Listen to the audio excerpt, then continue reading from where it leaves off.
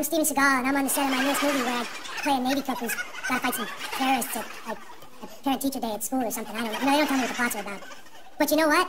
People always ask me, hey, Steven Seagal, what's letterboxing? I'll show you. This is what you see when movies on TV. Who am I talking to? Who's that guy that I'm punching there? So you don't know because it's all cut to crap to fit on your TV screen. This is what you get when movies letterbox. It's better because you get to see what you get at the movies. Like that other guy with the gun there. You get the whole deal. Or do you? Or do you? I Mark Twain who said, anything you can do, I can do better. My name's not Mark Twain. In the spirit of that great American, I've created something I like to call Steven Seagal's Letterbox 2000. Let's take a look.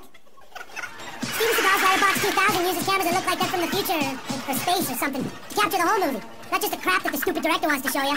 See, you get to see more stuff that no one ever gets to see. Like, where the heck am I going now? Where did I go? Oh, look, look, there I am. See, I'm done saving the day and now I'm gonna go get some delicious treats at the food table. I'm not dealing with the movie guys anymore. Look at me, I'm eating. Do you think you're doing? I'm sorry? This food is for the people who work very hard on my movies to eat. Oh, I see, I'm one of the producer's friends.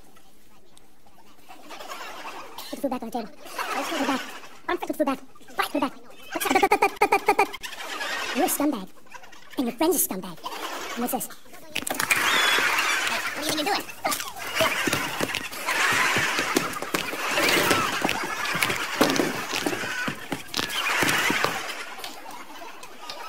So that's it. Steven Seagal's Letterbox 2000. It's so great that you'll wish you thought of it. That you'll wish you thought of it. But you didn't. So the only way you go around saying that you did or else. And cut. Very nice. We can do it maybe just one more time.